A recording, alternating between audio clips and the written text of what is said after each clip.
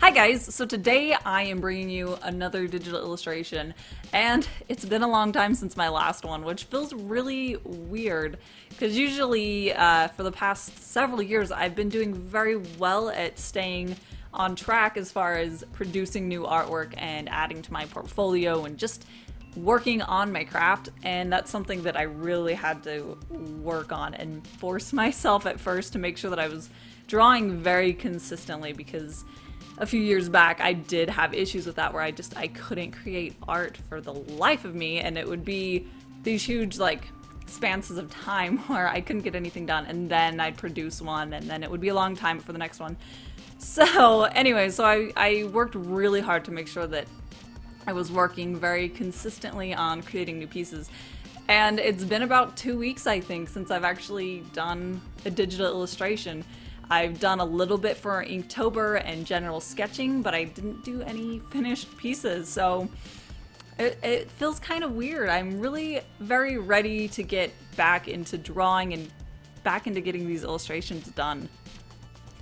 So when I started working on this piece, I think that I was definitely still feeling kind of that like laziness and irresponsibility from the last couple of weeks because I was feeling very unmotivated and very uninspired. I didn't have any ideas of what I wanted to draw and I just I felt like everything that I was thinking about was just like it wasn't translating it wasn't turning into anything and that was kind of really frustrating at first i had a few um, dead starts where i started sketching it out and then it just it wasn't working for me it wasn't looking good so I uh, did what I usually do when I have no idea what I want to draw, and that's um, I go and I look at other reference that already exists. So I look at other artist work, and I look at photo reference that already exists.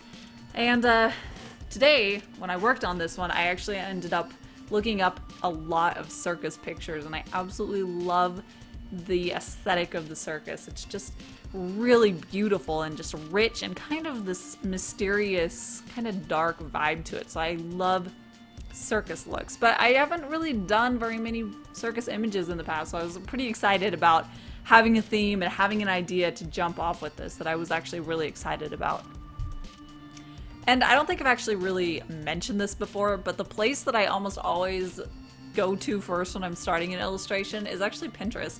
Um, it actually is really kind of an amazing resource for artists because there's a ton uh, reference, as well as really amazing illustrations and inspiration to work off of. So that's usually where I go when I want some visual ideas for what I want to incorporate into my own drawings and just a good jumping off point as far as uh, inspiration for me and just different images that I want to create. So that's really very helpful. I have a lot of different uh, pin boards that I just have a ton of different resources that when I'm really feeling like I don't know what to draw, I don't know what to work off of, I can go and look at that and I can see exactly what I've already decided I really love and it's just inspiring to have a ton of artwork and inspiration drawings that are completely suited for me because I've gone through and I picked them out. So if you're kind of looking for a place to find inspiration, I would actually really recommend that.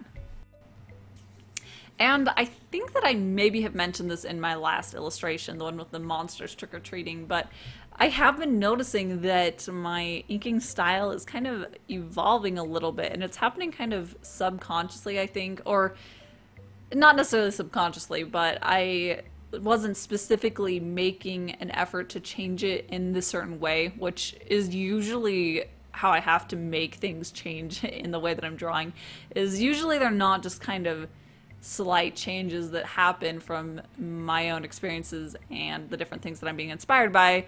Usually it's me noticing that there is something severely lacking in the way that I'm doing something and then really working hard to change that.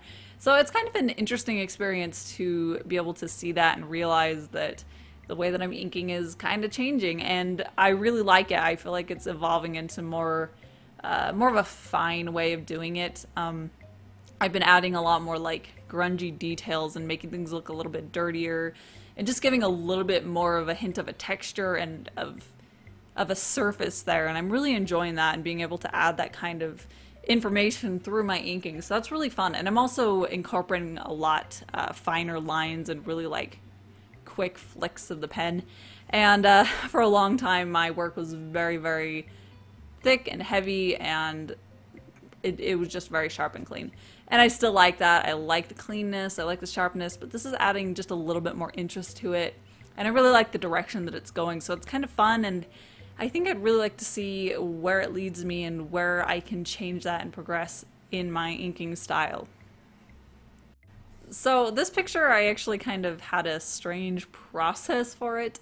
Um, I usually like to know exactly what all the elements in the picture is going to look like. So I know what the background looks like and what the characters look like. And that way I can make sure that they're really cohesive and they mesh well together. But this one, I actually, I started with an idea for the background, but then as I was working on it, I realized I wanted to push it further. I wanted to create an actual space instead of just kind of, at the beginning, if you remember, there was a lot of these like circus marquee signs that were just kind of like hanging there and I'm starting to feel a lot more like I want to create actual spaces and environments and worlds that these characters are actually in instead of this more ambiguous look which those signs really they, they didn't really tell of a space there. So so I realized that I did want to make a lot better of an environment for her to be in than what I first had thought. So as I worked on her, I was trying to think of uh, a better way to do it and what I wanted to incorporate. And I think now I know what I want to do with it. But when I was done with her, I still wasn't completely sure. So I decided to go ahead and just like ink her, get done with that, and then give myself a, a little bit of like about a day where I can decide and look at it and really think through exactly what the right solution is because that way I can get the absolute best image instead of just one that's a little bit subpar because I rushed through it. So yeah, I, I feel better about that, about the standing of where I'm at with this one and what I want to do with the background. I'm a lot more excited about what I've thought about than what I had originally. And I think that that's probably something that I could really learn from is really thinking through a lot more options than the first one that I do or the second one that I do. And I think that that would really help me create a lot better illustrations from now on. So that's another thing that I need to work on is more ideas, more thumbnailing, just more planning. And that is it for today. Thank you so much for watching and don't forget to hit subscribe so you can catch all my future art videos and I will see you in my next one. Bye!